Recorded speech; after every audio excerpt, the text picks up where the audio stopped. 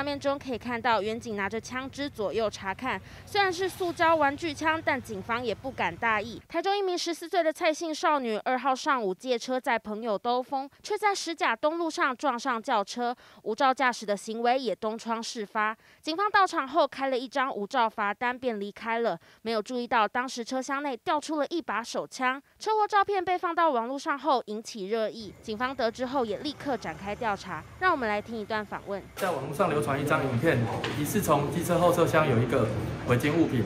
啊，警方获报后立即展开调查，迅速找到当时的驾驶。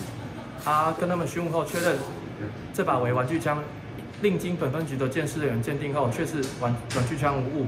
对于携带违禁物品的部分，将以涉违法来就办。原来当时坐在后座的刘姓少女看到有枪掉出来，怕节外生枝，就用外套把枪盖了起来。警方经过调查，确认车厢内放的是玩具枪，但对于没有正当理由携带违禁品的部分，还是得依法查办。